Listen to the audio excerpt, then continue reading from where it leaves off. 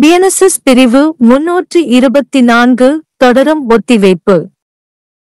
பிரிவு முன்னூற்று பத்தொன்பது இன் கீழ் ஒரு கமிஷன் வழங்கப்படும் ஒவ்வொரு வழக்கிலும் விசாரணை விசாரணை அல்லது பிற நடவடிக்கைகள் ஒரு குறிப்பிட்ட நேரத்துக்கு ஒத்திவைக்கப்படலாம் இது கமிஷனை நிறைவேற்றுவதற்கும் திரும்புவதற்கும் போதுமானது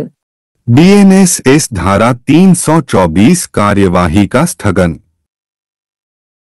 प्रत्येक मामले में जिसमें धारा 319 के तहत कमीशन जारी किया जाता है, जाँच, परीक्षण या अन्य कार्यवाही कमीशन के निष्पादन और वापसी के लिए यथोचित रूप से पर्याप्त निर्दिष्ट समय के लिए स्थगित की जा सकती है।